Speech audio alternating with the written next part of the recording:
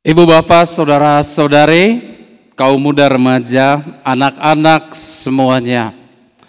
Selamat siang semuanya. Shalom.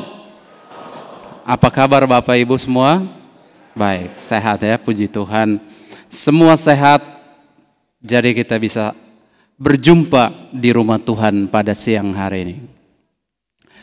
Bapak Ibu, saudara-saudari, saya menyampaikan satu dua pikiran kecil untuk kita bermenung pada pesta Yesus berubah rupa atau sering disebut pesta transfigurasi. Kita sebagai manusia mengalami banyak sekali peristiwa dalam hidup. Entah kecil entah besar, peristiwa-peristiwa itu selalu datang silih berganti. Ada peristiwa yang langsung bisa kita tangkap maknanya. Tapi ada juga yang tidak bisa langsung ditangkap maknanya sampai ada peristiwa lain yang membangkitkan ingatan kita, oh ya dulu pernah terjadi seperti itu. Kita alami itu dalam kehidupan. Dan hari ini apa yang menjadi pengalaman kita sudah menjadi pengalaman para murid dahulu kala. Petrus, Yakobus dan Yohanes. Tiga murid yang diantar Tuhan Yesus bersama dengan dia naik ke puncak Tabor dan menyaksikan peristiwa iman dan peristiwa penuh rahmat Yesus berubah rupa di depan mata mereka. Mereka melihat Yesus dalam keadaan yang luar biasa.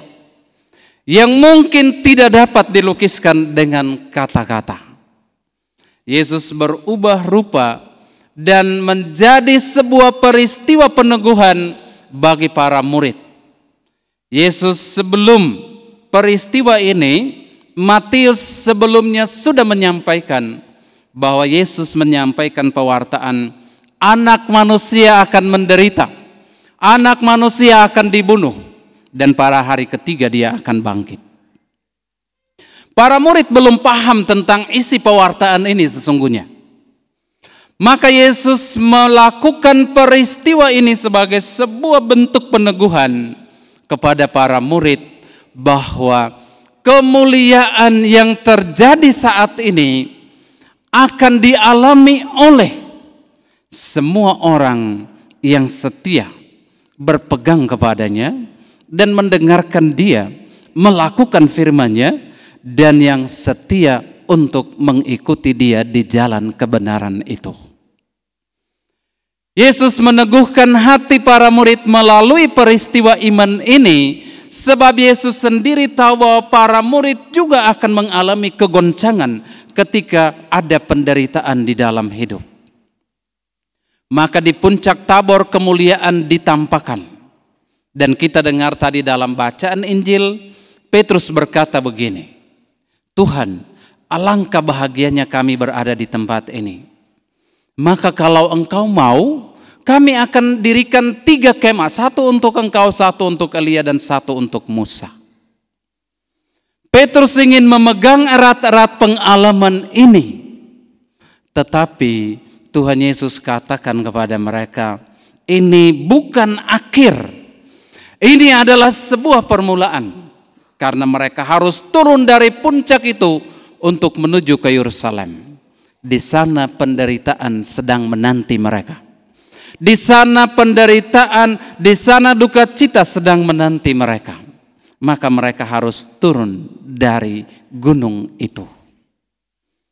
Mereka tidak hanya mendengar kata-kata Yesus, tetapi untuk meneguhkan apa yang Yesus katakan, terdengar juga suara dari dalam awan, suara Bapa di surga yang mengatakan, "Inilah putraku yang terkasih, dengarkanlah dia." Maka para murid harus mendengar Yesus para murid harus mengarahkan hati, pikiran, perasaannya kepada Yesus yang sekarang menjadi pusat dan model dari kehidupan mereka untuk melakukan karya dan pewartaan di tengah dunia ini. Maka apa yang dinubuatkan sebenarnya, apa yang kita dengar, perubahan rupa dari Tuhan ini sudah dinubuatkan Nabi Daniel dalam bacaan yang pertama tadi. Kita mendengar Daniel mengatakan seorang serupa anak manusia diantar untuk dianugerahi kekuasaan atas langit dan bumi. Dan kekuasaan itu diberikan kepada Yesus. Dia adalah penyelenggara kehidupan, dialah Allah yang berkuasa atas hidup dan mati manusia.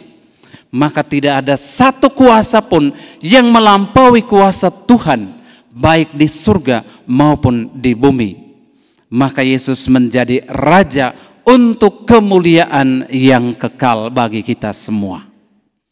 Rasul Paulus menasehatkan kita melalui bacaan kedua. Kalau para rasul menjadi saksi atas peristiwa iman ini dahulu, maka sekarang kita yang hanya mendengar pewartaan itu harus juga menjadi saksi dengan mendengar Tuhan Yesus sendiri.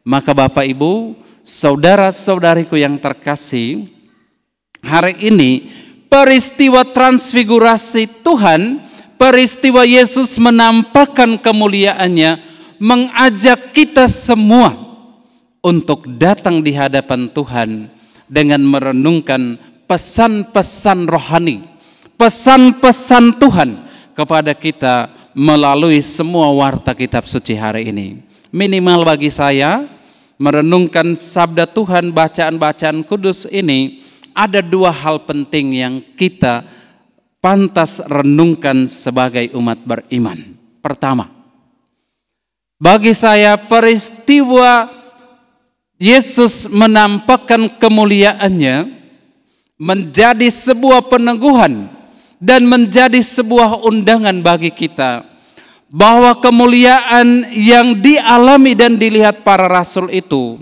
akan menjadi bagian dari kehidupan mereka kalau sekarang mereka itu taat setia. Kalau sekarang mereka mendengarkan Tuhan, kalau sekarang mereka dengan setia melakukan apa yang diperintahkan dan dianugerahkan Tuhan kepada mereka kemuliaan yang menjadi puncak dari perjalanan kehidupan yang dinyatakan Yesus melalui salib itu akan menjadi bagian dari perjalanan kita sebagai orang beriman sesudah pengembaraan di dunia ini berakhir.